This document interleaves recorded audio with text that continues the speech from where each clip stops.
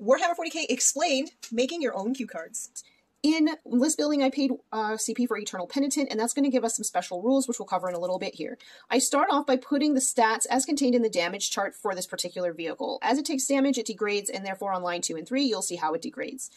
Moving on over here in the light blue, you'll see that there's some special abilities. All dreadnoughts are minus one damage. This particular dreadnought is going to reroll charges, and he gets plus one attack because he is Eternal Penitent. Because he is Solar Watch, he gets plus one to advance and charge rolls, and he can also fall back and charge, and just like most vehicles, it explodes.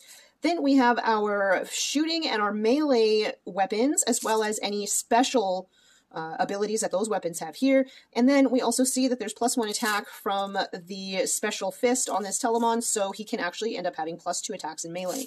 And then down here, this light green is the stratagems that I might end up using on this particular unit, how much they cost, and a little blurb about what exactly it is.